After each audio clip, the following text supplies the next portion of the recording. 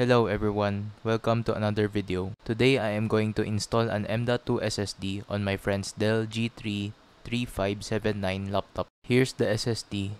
It's a Kingston NV1 250GB SSD. I already have the laptop opened, but if you want to see how to open the laptop, please check out my previous video where I replaced the thermal paste of the laptop. I'll just unbox the SSD.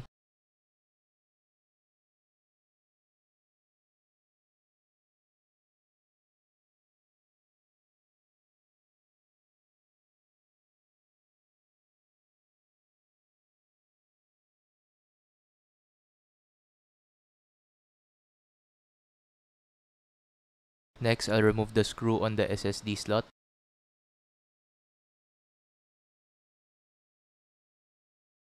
Now I'll plug the SSD into the M.2 slot.